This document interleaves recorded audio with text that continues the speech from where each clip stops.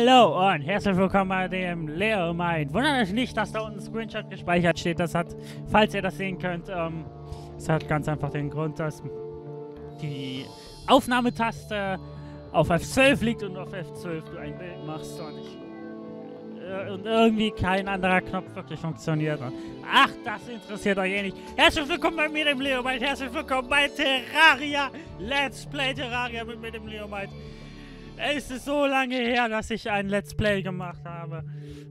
Äh, nicht One hat um dieses Let's Play gebeten und das mache ich auch sehr gern, weil ich. Er hat speziell um ein Terraria Let's Play gebeten. Ich bin ein großer Fan von Terraria, wofür auch meine registrierten Stunden was auch meine registrierten Stunden aussagen, denn ich habe für Terraria PC, also ich habe Terraria auch für PS3, PS4 und fürs Handy, ähm, die nicht mitgezählt, habe ich allein für den PC 245 registrierte Spielstunden für Terraria. Ähm, es ist also ein Spiel, das ich wirklich sehr gerne spiele. Mir fehlt nur noch eine einzige Errungenschaft in dem Spiel, nämlich 200 Angler-Missionen. Ansonsten habe ich alles. Und äh, ja, also ich, ich freue mich wirklich sehr, das spielen zu können. Äh, ja, ich würde sagen, wir beginnen einfach mal mit einem eigenen Charakter. So, schön mit dem Bart. Farbe ist okay. Um, tiefblaue Augen. Hellere Haut. So, Kleidung. Ähm, weiß. Weiß. Schwarz.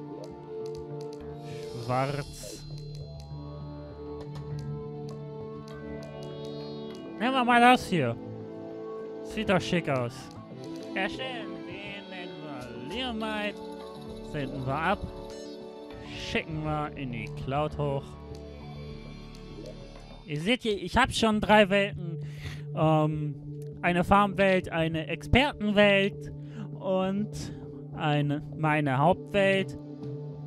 Ähm, die kann ich euch später mal zeigen. Nicht jetzt, später.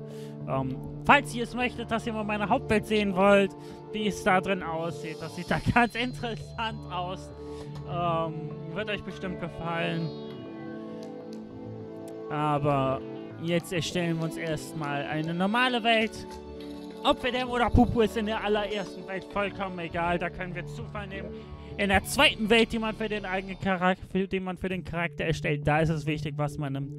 Weil man sollte dann das Gegenteil von dem nehmen, was man in der, eigen, in der Hauptwelt hat. Und ähm, ja. Die Welt nennen wir Leomite Street. Und wir haben Verderben! Verderben! We will rock you! Yo, wir haben das Verderben! Granit wachsen lassen, mehr Gras hinzufügen.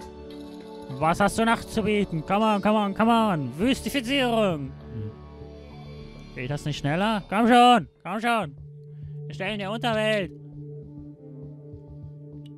Hornissennester werden erschaffen. Glätte die Welt. Gewässer werden verteilt. Nee, Gewässer verteilen. Wasser. Jetzt nicht so schnell. Ich lese noch.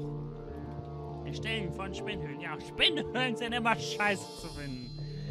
Aber es gibt schwierige Sachen, zugegeben. Unkraut wird gepflanzt. Wieso, Kraut, wieso pflanzt hier Unkraut? Ah, genau. Wieso Kraut hier unpflanzt? Wieso pflanzt hier Unkraut? Unkraut ist scheiße. Kein Mensch will Unkraut haben.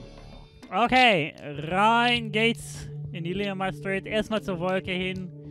Ähm, und dann spielen wir Terraria.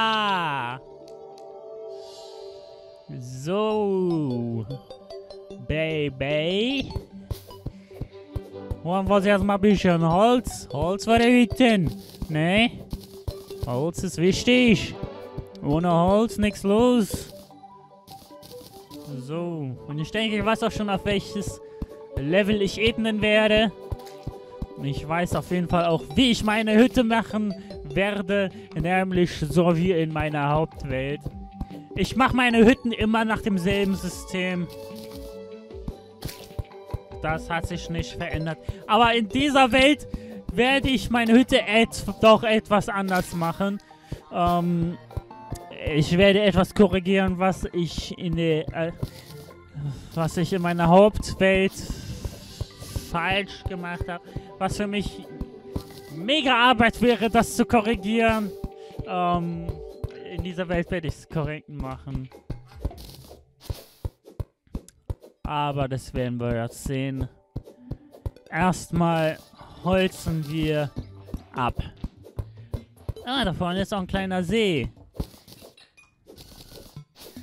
Der wird tiefer gemacht, aber noch nicht jetzt, sondern erst, wenn wir den Angler haben. Wenn wir ein bestimmtes Item vom Angler bekommen haben. Den tiefen Eimer. Ne, den unendlichen Wassereimer. Genau, unendlicher Wassereimer. Der nämlich unendlich Wasser verteilen kann. Ja? Die Anfänger unter euch, die noch nie Terraria gesehen haben, was verhext seid ihr, die noch nie was von Terraria gehört haben. Jeder verdammte Gamer auf der Welt sollte schon mal was von Terraria gehört haben. So. Der unendliche Wassereimer.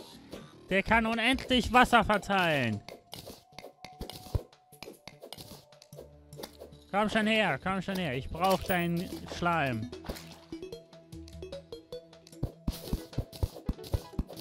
So.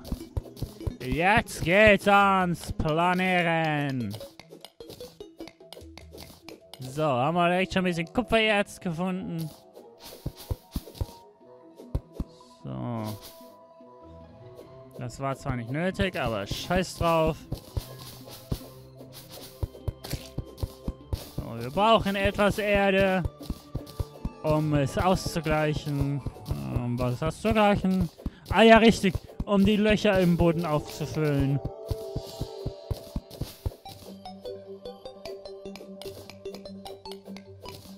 So, ich werde das später ich werde noch später noch mehr abholzen. Wir werden jede Menge Holz brauchen. Aber soweit war es das erstmal. Da vorne steht noch ein bisschen Dreckwand, aber die kommt später weg, wenn wir einen Hammer haben. Mit Hämmern kann man nämlich Wände wegmachen. Mit sonst nichts. Nur mit einem Hammer.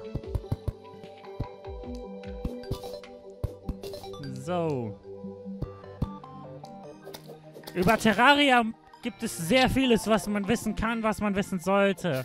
Terraria ist ein sehr vielfältiges Spiel. Es ist ähnlich wie Minecraft, aber irgendwie auch nicht. Ähm, es ist definitiv eine Nummer für sich. Lass mal schauen. Ähm, was habe ich jetzt? Hm, komm schon. 2, 3, 4, 5, 6, 7, 8, 9, 10, 11, 12. So.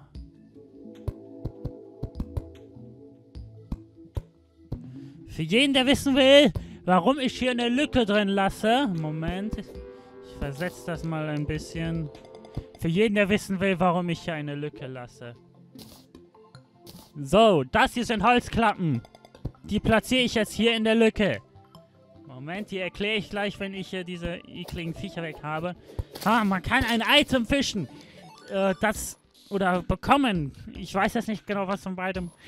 Jedenfalls eins von beiden entweder fischen oder vom Angler als Quest bekommen. Muss ich, muss ich mal nachschauen. Aber, ähm, es gibt ein Item, das sorgt dafür, dass einem die, Schle einen die Schlamps nicht mehr angreifen. Aber da, da, es ist nicht ganz so leicht ranzukommen. Da sollte man sich lieber erstmal auf andere Sachen konzentrieren. Weil das ist dann im späteren Verlauf dann einfach nur ein nettes Item zu haben, wenn einen die... Also, wenn man sehr viele der Accessoires komprimiert hat. Äh, zurück zu den Klappen. Einmal nach unten gedrückt und schon bin ich eine Ebene tiefer. Das ist der Vorteil der Klappen. Sie sind solide, aber man kann auch runtergehen.